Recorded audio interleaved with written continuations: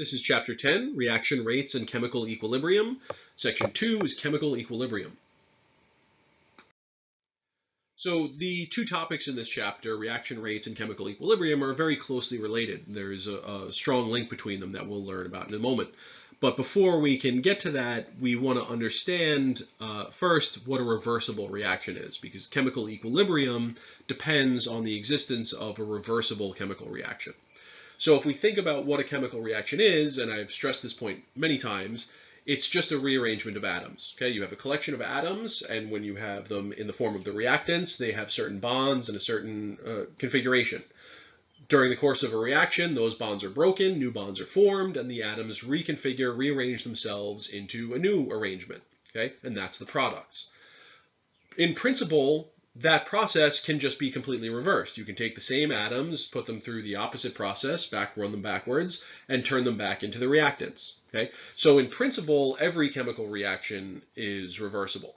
In practice, though, only certain reactions can actually go in both directions. Sometimes uh, a reaction will have too much of an energy requirement to go one way or another, or it'll just take too long going in one direction, or the products of the reaction going in one direction are lost, you know, it gives off a gas that escapes or something like that. Uh, and so in practice, not every reaction is really considered reversible. But some reactions are still highly reversible, and these are called, obviously, reversible reactions. So we can write a reversible reaction using this two-way arrow that you see here. Okay, an arrow pointing to the right and an arrow pointing to the left. Sometimes they're drawn as little half arrows like this, that's fine, um, but you don't want to get them confused with a double-headed arrow like this. Okay, this double-headed arrow indicates resonance in chemistry, which is a totally different uh, concept, not related to equilibrium, so we don't want to use that. Okay, use either two full arrows pointing in opposite directions, or you can use these little uh, sort of harpoon half arrows, sometimes they're called. Okay, and here we just have the reactants A and B and the products C and D. And they're separated instead of by a one-way arrow, they're separated by this two-way equilibrium arrow. To see how this works in practice, think about the example of hydrogen gas reacting with iodine gas. So hydrogen gas can react with iodine to combine together and form hydrogen iodide gas, HI. Okay? So if you put just hydrogen gas and iodine gas into a container and you leave them to react, then molecules of hydrogen will collide with molecules of iodine and they'll generate molecules of HI, hydrogen iodide. Okay? So this is the forward reaction. This is what we would normally think of as the chemical reaction when we're combining these two gases. However, you can also just put a pure sample of hydrogen iodide into a container. And if you have just hydrogen iodide in a container, two molecules of the HI can collide and then split back apart into a molecule of hydrogen gas and a molecule of iodine gas. Okay? So while we have a combination reaction here, right, the forward reaction is a combination, the reverse reaction is essentially a decomposition. Two molecules of hydrogen iodide collide and reform a molecule of hydrogen gas and a molecule of iodine gas. Okay? And so this is the reverse reaction because it's just the opposite of what happens in the first place. So when you have a reaction like this that can occur in both directions, we can condense them into a single process with this reversible arrow. Okay, so we have hydrogen plus iodine gives you hydrogen iodide, but then you also draw a back arrow to indicate that the reverse process is also possible. And so in a reaction like this, in a system where you've combined hydrogen and iodine, or maybe you've combined hydrogen iodide or some combination of these, then you're going to have both reactions occurring at the same time. Anytime you have hydrogen near iodine gas, there's the possibility that they'll react to form HI. But also, anytime you have just pure HI molecules in close proximity to one another, there's a chance that they can react to form hydrogen and iodine. And so both of these processes are going to be going on at the same time in a reversible reaction. The rate of the forward reaction, how fast the two molecules combine together to form HI, depends on the concentration of those two molecules and the concentration of hydrogen and iodine. The rate of the reverse reaction depends on the concentration of hydrogen iodide. Okay? If there's no hydrogen iodide, then there's no reverse reaction. If there's a lot of hydrogen iodide, then the reverse reaction is going to go pretty quickly because you have a high concentration. Before we get more into that and uh, thinking about the rates of these reversible reactions, let's just uh, take another example of how you can break an equilibrium reaction or a reversible equation down into the forward and reverse. Okay, so here we see a reversible equation, which you can tell because it has the two-way arrows. So write the forward and reverse reactions for this equation. Well, the forward reaction is very easy. You just write it the same way that it's shown, but you replace it with the forward arrow. So we have methane, CH4, which is a gas, plus 2 moles of hydrogen sulfide gas, H2S. And these react to form carbon disulfide, which is also a gas, and 4 moles of hydrogen gas. Okay? So this is the forward reaction. It's the same thing you see written here, but with a forward arrow instead of the uh, reversible arrows. Okay? And then the reverse reaction is just the opposite. So we could write it the same way with an arrow pointing in the opposite direction, but usually in chemistry we always want our reaction arrows to be pointing left to right. So instead we're going to take the products and put them in front. So we're going to start with carbon disulfide gas, and that's going to react with 4 moles of hydrogen gas, and together, these are going to turn into methane gas and 2 moles of hydrogen sulfide gas. Okay? So this is the reverse reaction where we've swapped the reactants and products. Together, these two equations can be written more simply in this form.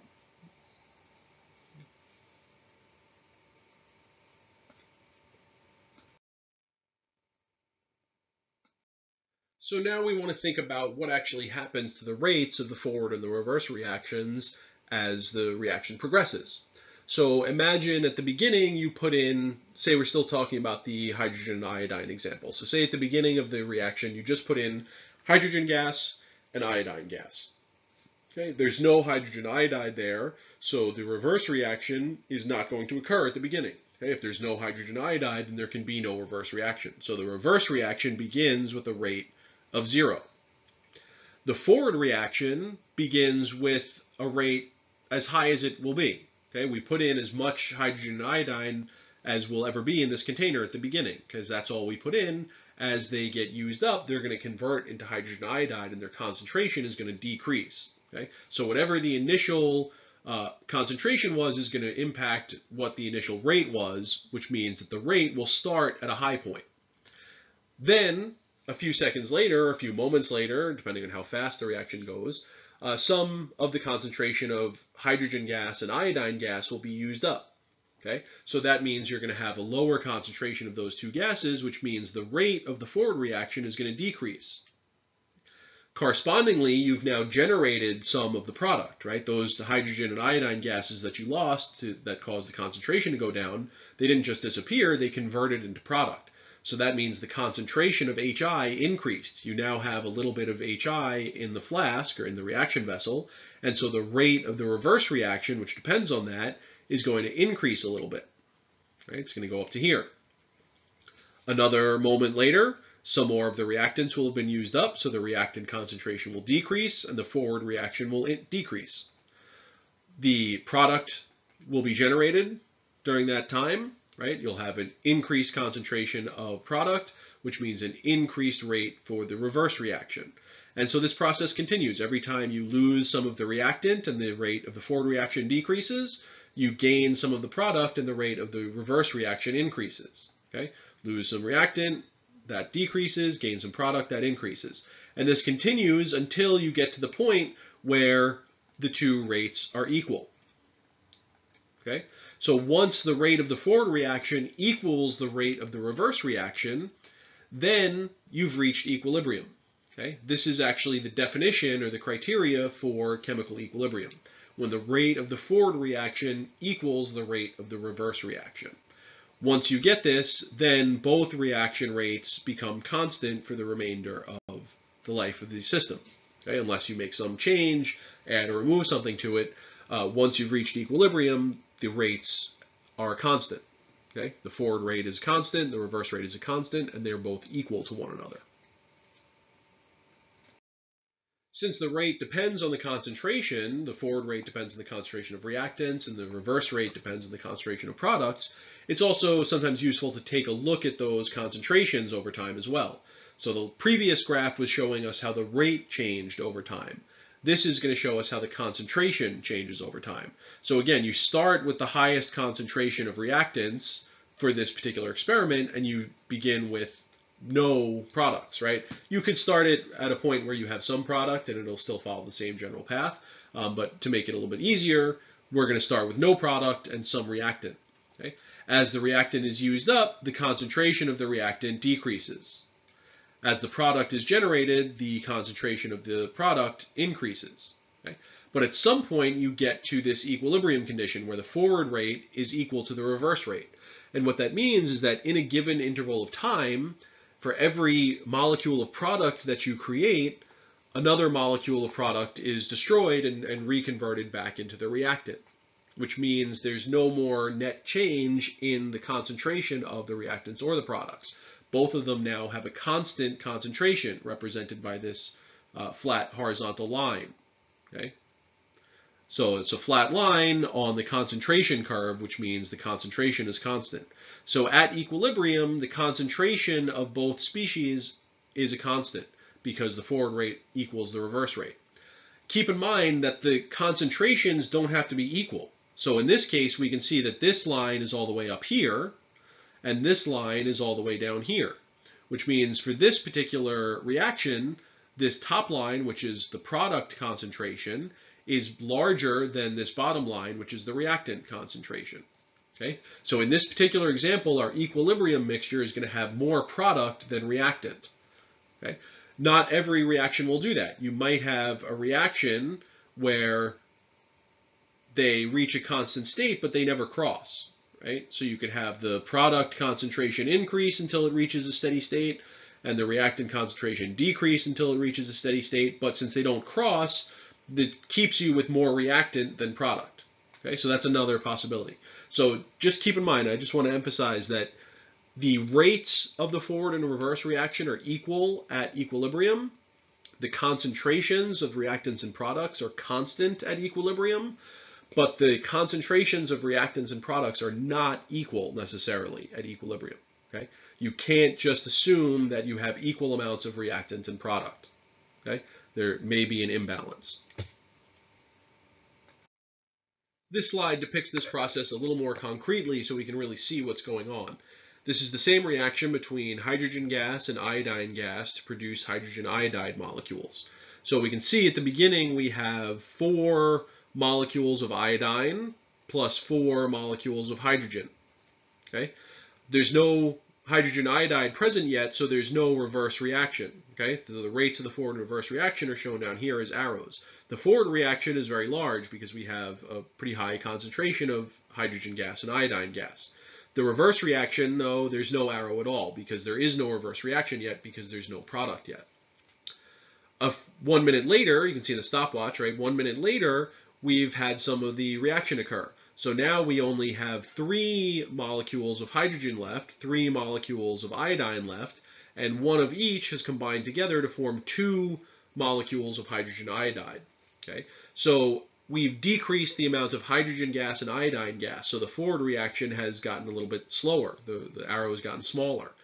But the reverse reaction has now started to grow a little bit because we have some hydrogen iodide now.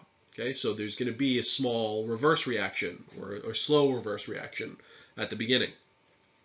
Another minute later, we've lost another molecule of each. We only have two moles of each of the reactants, and now we have two more moles of the product, right? And so that means the forward reaction has gotten a little slower, the reverse reaction has gotten a little bigger. Okay? And then one more minute later, we've lost one more of each, so we're down to one molecule of iodine, one molecule of hydrogen, and then the rest are all hydrogen iodide. Okay, we have six moles or six molecules of hydrogen iodide. Uh, so at this point, the forward reaction and the reverse reaction have the same lengths. The arrows are the same. Okay, so at this point, you've reached equilibrium. Because the rates are the same, you're at equilibrium, which means even if you come back several minutes later, right, until now we've just been looking every minute, now we're going to skip ahead five minutes, and we're going to see we still have the same composition. We still have one iodine, one hydrogen, and the rest are product molecules. Okay, so we have two moles of reactants, still two moles of reactants. six moles or six molecules of product is still six molecules of product, right? So these numbers haven't changed because once we hit equilibrium, for every product we formed, we lost a product. For every reactant we formed, we lost a reactant. So there was a balance between minute three and minute eight where it might not be the exact same hydrogen molecule, right? This hydrogen molecule is not in all likelihood the exact same molecule as that because the reaction still occurs in the molecular level. You still have product forming and, uh, and coming apart. So it's probably a different hydrogen molecule, but the overall amount is still the same. And so we can't observe any difference in the concentration when the, the net amount of each is the same. So equilibrium is a state that a system reaches when the forward reaction exactly equals the rate of the reverse reaction. So at equilibrium, the forward and reverse reactions continue at the same rate. So make sure that you understand that the reactions don't stop. You don't stop creating product. You don't stop converting product back into reactant. Both of those processes continue, but they're balanced. Okay, so the conversion of reactants into products is balanced by the conversion of products into reactants. And so because of this balance, there's no further change that you can observe in the concentrations of the reactants and products.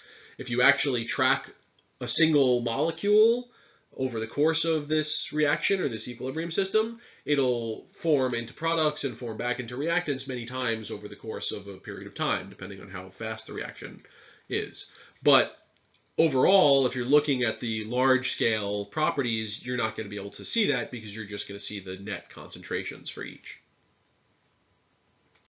Let's take a look at another example of a reversible reaction. Here we have sulfur dioxide reacting with oxygen to form sulfur trioxide. So if we start with a reaction vessel that has only sulfur dioxide and oxygen in it, then over time, some of those will react to form sulfur trioxide, right? So we can see here, a few of them have reacted to form sulfur trioxide, but you still have some oxygen and some sulfur dioxide left over. And so at this point, you've reached equilibrium because the forward and reverse reactions are equal, okay? But we could also start with a flask or a reaction vessel full of just sulfur trioxide, just the product. And again, over time, sulfur trioxide will react with itself to reform oxygen and SO2 molecules. So even if we start from this point, we would still tend back towards this equilibrium composition. Okay? So the ratio or the amount of products and reactants you have at equilibrium is completely independent of your starting point. Okay? It doesn't matter how much reactant or how much product you put into the reaction flask to begin with. By the time it reaches equilibrium, there's sort of a set ratio between the two or three or however many species you have in the equation. Okay, there's a fixed ratio, a fixed uh, proportion between them. So let's look at a few statements about equilibrium and decide whether each of them is true or false. So in the reverse reaction, products are converted back into reactants. That is true. That's the definition of the reverse reaction, products converting back into reactants. So this is a true statement. Uh, B, statement B says, at equilibrium, the forward and reverse reactions both completely stop. Okay? This is false. As I said, the reactions do not stop at equilibrium. The reactions continue at the same rate, but the rates are equal, so they're balanced, but they're not stopping. Okay? Uh, statement C says, at equilibrium, the concentrations of the reactants and products are equal. Again, this is also false the concentrations are constant, they don't change anymore, but they're not necessarily equal. You do not necessarily have the same amount of reactant and product. In some equilibrium mixtures, you'll have more product. In some, you'll have more reactant, and that depends on the properties of the reaction you're studying. Statement D says, as the reactants are used up, the forward reaction rate decreases. Okay? So as the reactants are used up, the concentration of the reactants is going to go down, which means, yes, the forward rate is going to decrease. This is true. Okay? And E says at equilibrium, the rate of the forward reaction is equal to the rate of the reverse reaction. Again, this is true. This is a statement you should absolutely remember because this is the definition of chemical equilibrium.